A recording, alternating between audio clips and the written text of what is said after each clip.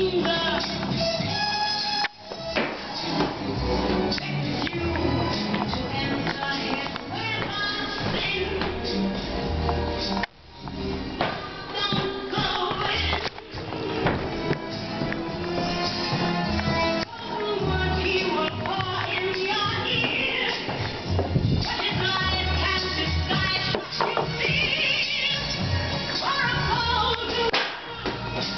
Não, não é isso!